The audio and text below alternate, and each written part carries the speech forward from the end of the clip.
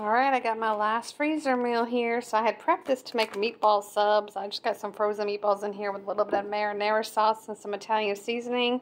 Um, but I'm actually in the mood for spaghetti more than meatball subs. So all I'm going to do is dump this in my crock pot and then add a jar of spaghetti sauce just to make it more saucy.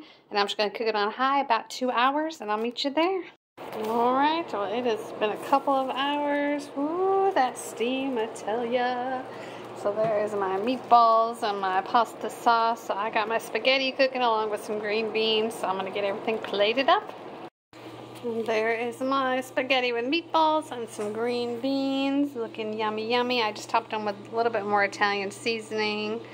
But these are some good portion sizes here. This will probably be enough for two servings for me. But there you go and that is all of my freezer crock pot meals. I have to say it did save me some money because i went like four weeks without having to buy groceries so hopefully that'll help you guys and enjoy